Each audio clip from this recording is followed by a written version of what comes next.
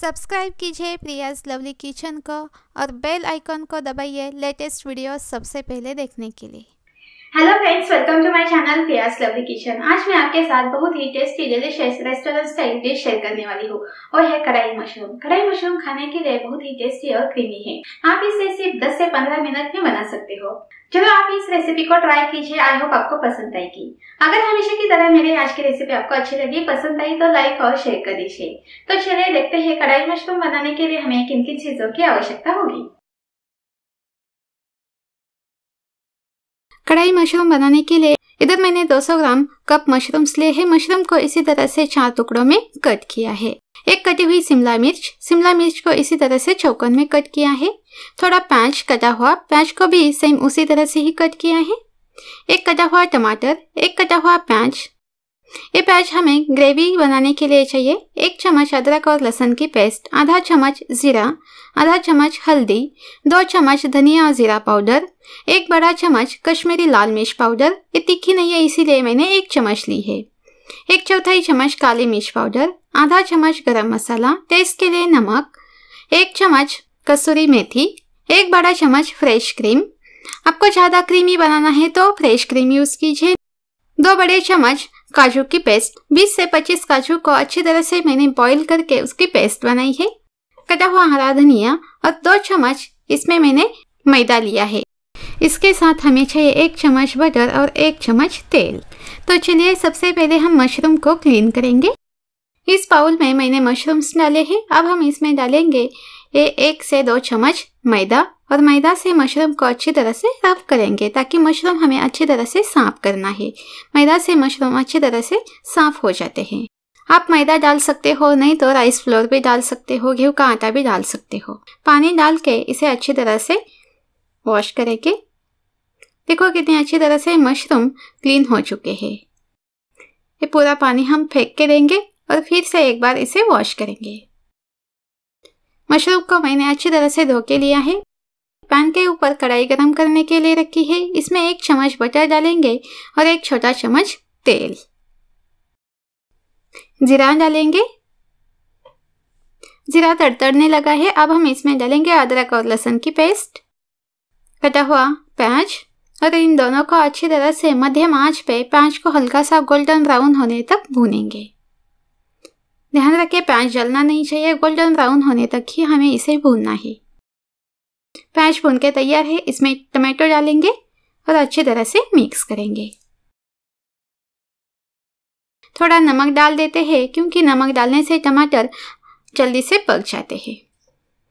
Mix करेंगे। अब हम पैन के ऊपर ढक्कन रख के बिल्कुल धीमी आँख पर दो मिनट पकाएँगे।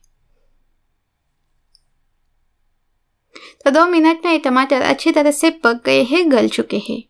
एक बार स्पून की मदद से अच्छी तरह से मिक्स करके इसी तरह से स्मैश करेंगे ताकि टमाटो की अच्छी तरह से पेस्ट बन सके। पैच टमाटर पक्के तैयार है। इसमें काजू की पेस्ट डालेंगे और अच्छी तरह से मिक्स करेंगे। आपको प्याज पसंद नहीं है तो प्याज अवॉइड भी कर सकते हो, सिर्फ़ काजू टमाटर डाल के भी आप इसे बना सकते हो। अब हम इसमें डालेंगे मसाले, हल्दी, धनिया और ज़ीरा पाउडर, काली मिर्च पाउडर, लाल मिर्च पाउडर और एक कसूरी मेथी। अब हम इसे अच्छी तरह से मिक्स करके लो टू मीडियम फ्लेम पे इसमें से तेल अलग होने तक भूनेंगे। तो इसी तरह से मसालों से तेल अलग होने लगा है। फ्रेश क्रीम डालेंगे एक चम्मच। और फिर से मिक्स करके एक मिनट पकाएँगे।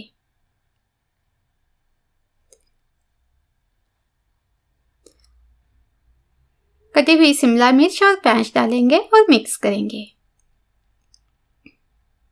देखो फ्रेंड्स मुझे एक करी ज़्यादा क्रीमी चाहिए, इसीलिए मैंने फ्रेश क्रीम भी डाली है। आपको ज़्यादा क्रीमी पसंद नहीं तो फ्रेश क्रीम अवॉइड कीजिए।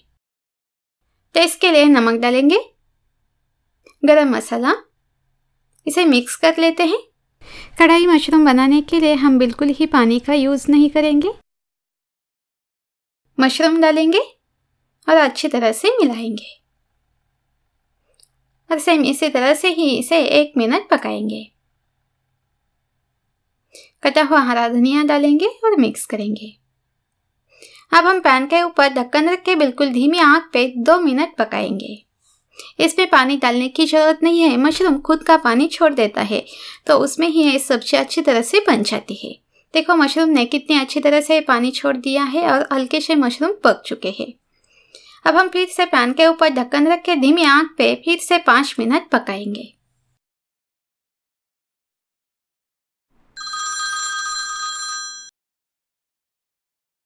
ढक्कन निकालेंगे। वाओ बहुत ही अच्छी तरह से कढ़ाई मशरूम बनके तैयार है। और भी थोड़ा पतला दिख रहा है तो इसे मैं फिर से मध्यम आँच पे दो मिनट पकाऊँगी, ताकि ये करी थोड़ी हल्की सी गाढ़ी हो सके। तो इसी तरह से कढ़ाई मशरूम बनके तैयार है। इसे मैंने दो मिनट मध्यम आँच पे पकाया है। कढ़ाई मशरूम को एक सर्विंग प्लेट में सर्व करेंगे। देखो, दिखने में कितनी अच्छी तरह से दिखता है और खाने के लिए तो बहुत ही टेस्टी डेलिशियस रेसिपी है, बहुत ही क्रीमी है। कढ़ाई मशरूम, आप कौन सी भी रोटी, नान, चपाती और राइस के साथ खा सकते हो। तो चलो, आप इस रेसिपी को ट्राई कीजिए आई होप आपको पसंद आएगी। तो फ्रेंड्स आप भी चलो, इसी तरह से घर पे ही रेस्टोरेंट स्टाइल कढ़ाई मशरूम बनाइए, खाइए और आपके अनुभव शेयर कीजिए। अगर मेरी आज की रेसिपी आपको पसंद आई होगी तो लाइक और शेयर करना मत भूलिए। तो चलिए, फिर हम मिलते हैं ऐसी ही नई रेसिपी के साथ। तब तक के लिए goodbye Have a nice day.